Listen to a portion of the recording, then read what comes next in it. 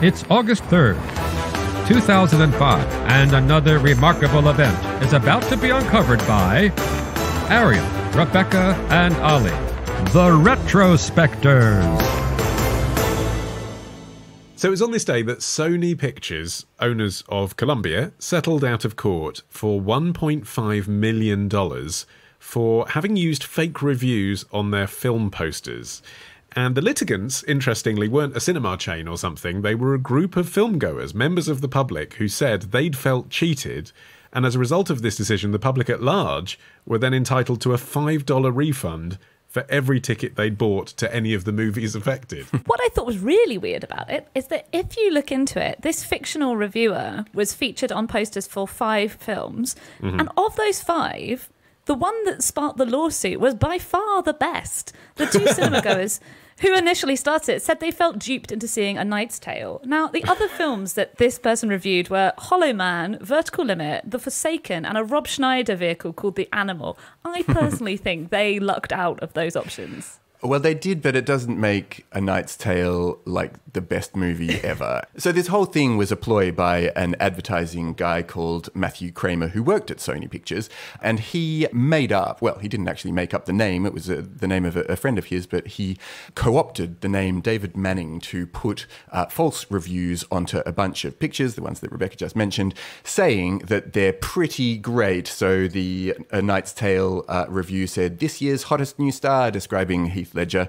who was already a bit of a star by then. Yeah, which actually isn't. I mean, you're not saying the film's great. To be fair, I mean, obviously yeah. this whole idea was terrible, and like creating a fake reviewer is obviously going to get you rumbled. I know that it was early internet, but still 2005. You know, the real Dave Manning will at some point stand up. But nonetheless, at least at least this review was this year's hottest new star. Not you must go and see this movie because it's incredible. That's true. Although he did describe the animal, which I haven't seen it, but it does sound like it's probably among the worst of the bunch that he used this this character David Manning to to review as another winner. Well, well, again, the context was the producing team of Big Daddy has delivered another winner. I mean, I think that is damning with faint praise. To be fair, the person who's supposed to see that is like, ah, Big Daddy, the Hamlet of our times. He's only gone and knocked another one out of the park.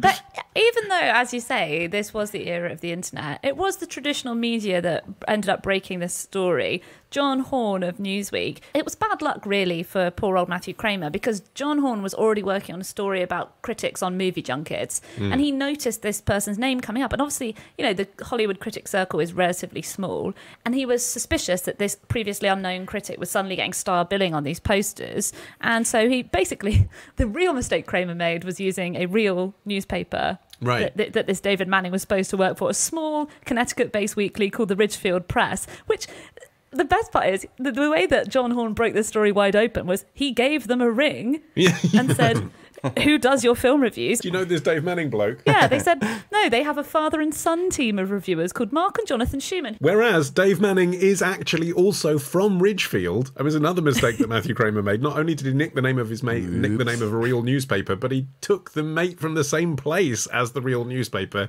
And Dave Manning from Ridgefield actually sells medical and industrial supplies. So again, not that difficult to put together in a small town. Although real Dave Manning was pretty cool with the whole business of fake Dave Manning having opinions he was. He got to be interviewed on CNN. He must have felt crap about the fact that his friend lost his job, though, as a result of this. If you're interested in the cinematic musings of the real Dave Manning, he was actually asked by the New York Times what he made of The Animal, and he said, "Not the best movie I've seen."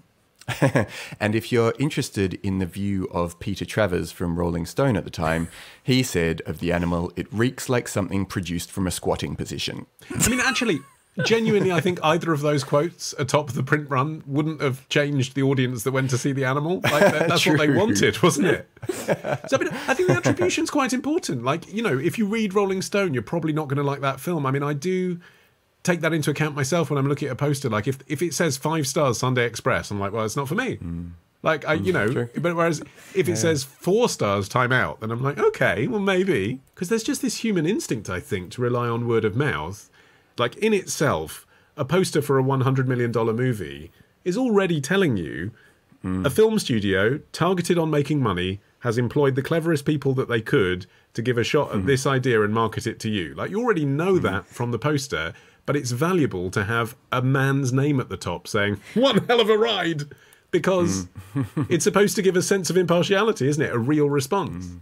Oh, it's just bizarre that this sort of cockamamie ploy dreamed up by an executive could actually proceed to the point where this fake reviewer is appearing on posters. I mean, Kramer and his boss, who was the senior VP of creative advertising, Josh Goldstein, they were both reprimanded and suspended without pay for 30 days. But also, they're such a large company owned by Sony that actually, if they really wanted to do this and not fall foul of Newsweek's cunning investigative reporting, all they needed to do was like create their own blog where they review movies. Like, you know, and it's it's owned by Sony as well. It wouldn't have been that much more expensive. And the truth is, and this is what John Horn was getting at, isn't it? The truth is that is the kind of thing that happens all the time now.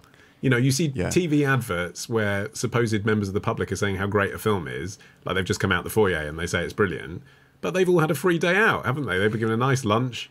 You know, they've come out and they've said, "Oh, it was a bit like Alien." They're not saying it's good.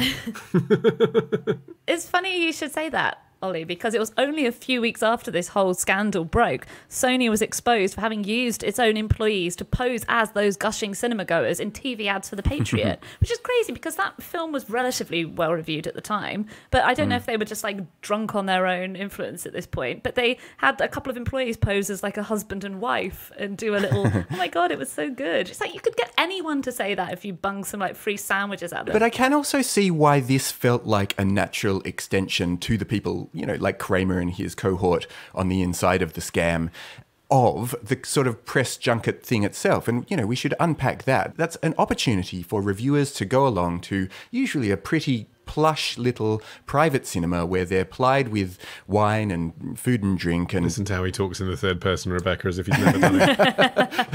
You've had a canapé, haven't you? I hear that this is what happens.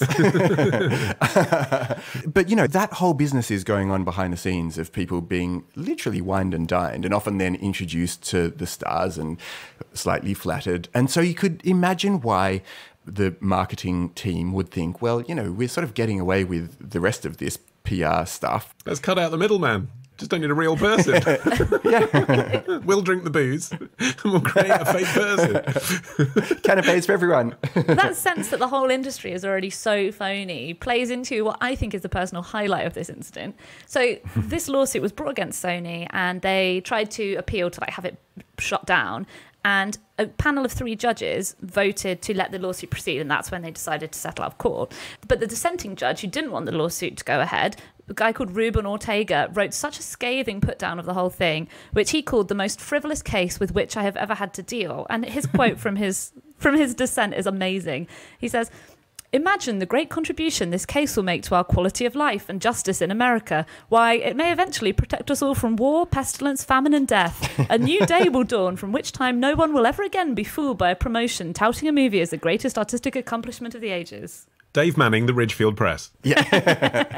but it's also an example of stuff that kind of goes on in the selective quoting of reviews. And I remember uh, there was a famous case where the ads had to be amended to reflect, like properly reflect, what the viewer's intention with their wording was. Yes, this is like when someone writes an incredible flop and it just comes out as incredible, The Guardian. Yeah. well, the one that I can't remember the exact play that this was connected to, but the quote that had been used in the review was If your train leaves before the end of this incredibly long play, don't miss it. And what they'd chosen to take out of it was Don't miss it. Wow. Tomorrow. We're going to insist that every town has stocks because people are demanding higher pay. Ditch the ads and get a Sunday episode when you join Club Retrospectors. Patreon.com slash retrospectors.